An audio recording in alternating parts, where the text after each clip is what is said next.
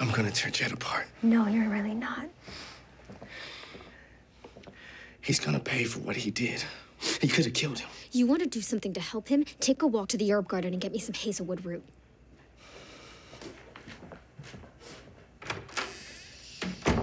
What does hazelwood root do? Make him cool off before he realizes that I made it up. I've had a, a rough couple of weeks. Guess we can cross supernatural healing off the list.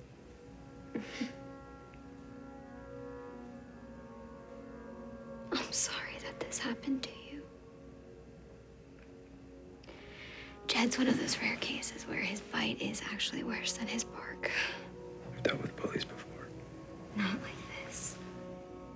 I know how badly you want to stay here. But this school is full of people like. Some of us are nicer, some of us have more control, but all of us are capable of doing what he did.